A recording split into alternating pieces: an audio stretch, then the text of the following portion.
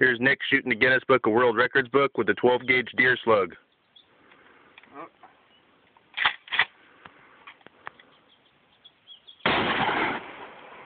Nice.